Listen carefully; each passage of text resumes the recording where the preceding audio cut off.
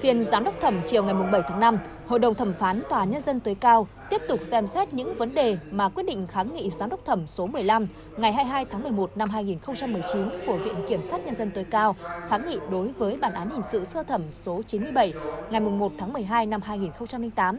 Tòa Nhân dân tỉnh Long An và bản án hình sự phúc thẩm số 281 ngày 28 tháng 4 năm 2009, Tòa án phúc thẩm Tòa Nhân dân tối cao tại thành phố Hồ Chí Minh. Tại phiên tòa giám đốc thẩm, vụ giám đốc kiểm tra 1 Tòa Nhân dân tối cao đã công bố kết quả buổi làm việc liên ngành giữa Viện Kiểm sát Nhân dân tối cao, Tòa Nhân dân tối cao, Bộ Công an vào năm 2015 để xem xét đánh giá một cách toàn diện việc giải quyết vụ án. Theo nội dung kết luận của liên ngành, trên cơ sở xem xét đánh giá một cách thận trọng, khách quan và toàn diện các chứng cứ gỡ tội, những vi phạm thiếu sót trong quá trình giải quyết vụ án, lãnh đạo liên ngành Bộ Công an, Viện Kiểm sát Nhân dân tối cao, Tòa Nhân dân tối cao thấy rằng vụ án Hồ Duy Hải phạm tội giết người, cướp tài sản xảy ra năm 2008 ở tỉnh Long An là một vụ án đặc biệt nghiêm trọng và phức tạp được dư luận xã hội quan tâm. Quá trình điều tra ban đầu có một số vi phạm, thiếu sót, Tuy nhiên, cơ quan điều tra đã cố gắng khắc phục, thu thập chứng cứ để chứng minh các tình tiết xác định sự thật của vụ án, Căn cứ vào các lời khai nhận tội của bị cáo trong quá trình điều tra, xét xử phù hợp với các chứng cứ tài liệu khác có trong hồ sơ vụ án như đặc điểm hiện trường vụ án, kết quả thực nghiệm điều tra, kết quả khám nghiệm, giám định pháp y tử thi, phù hợp với các vật chứng, đồ vật được thu giữ, các biên bản nhận dạng phù hợp với các lời khai của các nhân chứng, người liên quan và các tài liệu chứng cứ khác, phù hợp về thời gian, không gian xảy ra vụ án,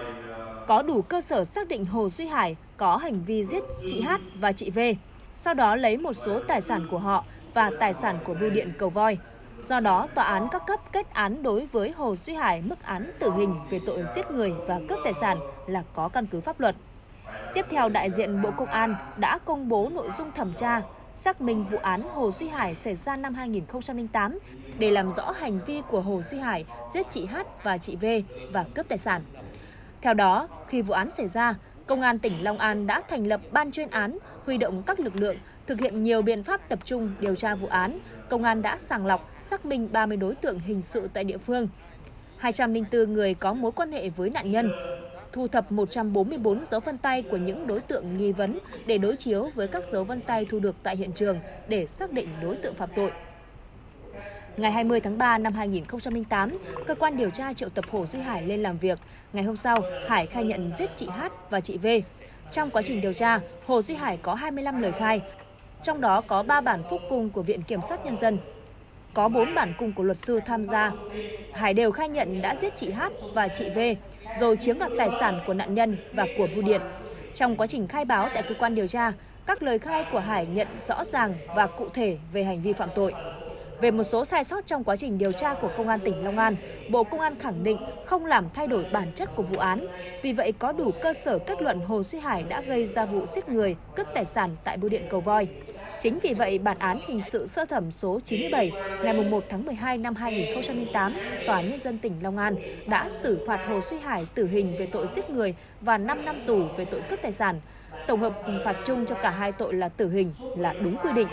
bản án hình sự phúc thẩm số 281 ngày 28 tháng 4 năm 2009, Tòa phúc thẩm Tòa nhân dân tối cao tại thành phố Hồ Chí Minh không chấp nhận kháng cáo của Hồ Duy Hải, giữ nguyên các quyết định của bản án hình sự sơ thẩm và tuyên phạt bị cáo Hồ Duy Hải tử hình về tội giết người, 5 năm tù về tội cướp tài sản. Tổng hợp hình phạt buộc bị cáo Hồ Duy Hải phải chấp hành hình phạt chung là tử hình là có căn cứ pháp luật, đúng người, đúng tội.